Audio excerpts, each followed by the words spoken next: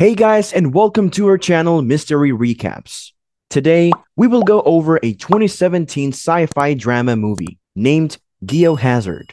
The movie starts with an advertisement for a drug called Beautiful Girl Pill. According to the ad, the pill is a unique drug that will restructure women's brains, nerves, and genes, turning them into their most beautiful versions. The pill gets sold out everywhere in the first year because of its popularity and effectiveness. Any woman who takes the pill experiences a change in their body and facial structure immediately. For the first year, the pill basks in its success. However, in less than two years of use, women begin to feel the pill's side effects. Some get severe allergic reactions, while others instantly go brain dead. Later, an examination reveals that the pill has directly affected most women's brains, shrinking their frontal lobe size. As a result, they start having difficulties doing the easiest tasks. They also lose their ability to experience both pain and pleasure. The pill has much more detrimental effects on the human body than scientists had anticipated while developing the pill. Soon, experts discover that the pill has caused the emergence of the highly contagious beautiful girl virus. A kiss from an infected person can only spread the virus. Any woman who gets infected transforms into a zombie like creature with the urge to kiss any man in their path. Even men who get kissed completely change into a woman. Right then, the movie's main character, a young man named Kiao Kei, is introduced. Kiao Kei and his friend discuss their next course of action. After receiving a text from Kiao Kei's father, they rush home to discover a girl tied to a chair. The girl is none other than Kiao Kei's brother turned into a woman. Kiao Kei then tries to check the girl's body, but the father says that he has already done so and has determined that it is a girl. Suddenly, the father experiences pain in his chest. The father collapses and transforms into a zombie like woman. The newly turned woman then tries to kiss Kiao Kei, but his friend stops her. The two accept that Kiao Kei's family is dead and they run outside. As they get to the parking space, an infected woman chases them. They then get to the streets and find that the virus has spread beyond control. The two then get trapped on the side of the road, surrounded by women. Kiao Kei notices that the infected do not attack beautiful women, so he suggests they get to the nearest clothing store and disguise themselves. That is when Kiao Kei's friend offers to distract the girls and sacrifice himself.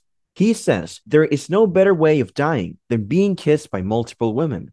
Moreover, he has never been with a girl, so this might be his only chance. He then jumps in and attracts the infected women. The girls kiss him as Kiao Kei runs away to the mall. Fortunately, the mall is empty, and so is the clothing store. He sits on the couch to rest, and the time fast forwards to a year later. The beautiful girl virus has taken over China, and survivors have established camps in different parts of the country. However, Kiao Kei lives alone in the store. He dresses up as a woman whenever he goes to find food supplies. One time, he enters a car and finds a woman in the backseat. He quickly runs away, but an infected woman follows him to the store and attacks him from behind. What do you think will happen to Kiao Kei? Pause the video and let us know in the comment section. Fortunately, a stranger comes at the right time and saves Kiao Kei. The stranger has a girl with him who surprisingly doesn't attack them. The girl is infected, but her body hasn't turned into a zombie. The man introduces himself as Li Wei, a member of a survival camp who is on search for survivors, and the girl as Xiao Qi. Xiao Qi is the only woman in China who is immune, and he is taking her to a place called the Tower, where scientists are trying to find a cure for the virus. Li Wei invites Xiao Kei to the survivors camp. Then they get in Kei's car and make their way to the survivors camp. However, a man follows them on a bike. When they get to the base, Li Wei makes Xiao Qi wear a device to her mouth so the man feels safe around her. When Kiao Kei is alone with Xiao Qi, he modifies the mouth device so she can open it herself. Xiao Kei and Li Wei then meet the Investigation Corps, a group of courageous men who go into the city to collect supplies. Li Wei is the leader of the Investigation Corps, and they leave to take Xiao Qi to the tower. At the camp, Kiao Kei finds the rival spy revealing information to his base. Worried, Kiao Kei then goes to save them. Meanwhile, men from the rival camp start attacking the investigation corp and Xiao Qi. They hold Xiao Qi hostage, but the sniper from the investigation corp fires at them, starting a shootout. Kiao Kei arrives at the right moment and brings Xiao Qi to a safer place. The shootout gets intense, and the only survivors are Kiao Kei, Li Wei, and Xiao Qi. But before they can flee from the site, the rival group catches them. The leader makes Xiao Qi wear the mouth device. Xiao Qi then takes off the device and, and then kisses the leader. He then falls to the ground and transforms into a woman, seeing which other members run away. The surviving three go to their vehicle, surrounded by infected women. Li Wei kills them, and the three drive to the tower. On the way, Li Wei gets out of the car, revealing that he too has been kissed.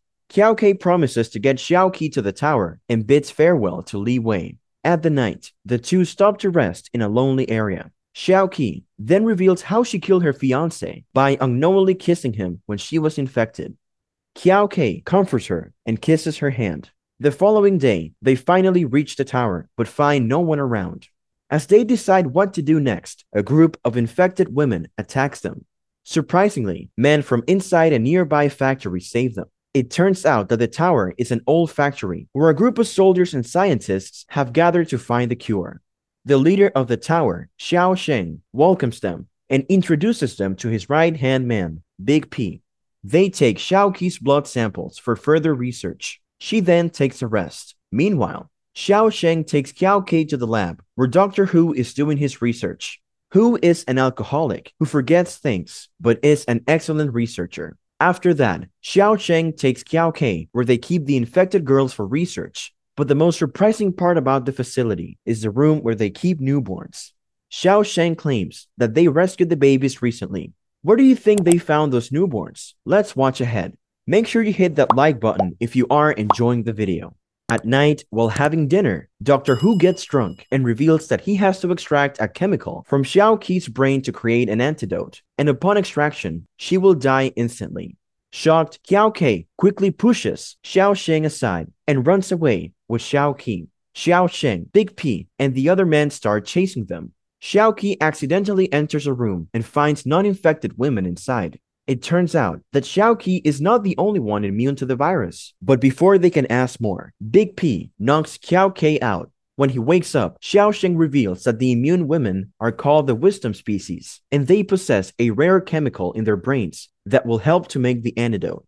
Xiao Sheng plans to use them to create a vaccine to end the pandemic. He led his men mate with the immune women to give birth to the babies that Kiao Kei had seen earlier. He also plans to use the babies for the antidote as they belong to the wisdom species. Kiao Kei agrees to help Xiao Sheng with his plan, but asks to meet Xiao Qi for the last time. He meets her and tells her that he wants to help Xiao Sheng. Xiao Qi gets disappointed, but before leaving, Kiao Kei tells Xiao Sheng to make the women wear his mouth device when they take them for surgery. Xiao Qi understands the plan and explains it to all the girls. The next day, the men take them to the operating room.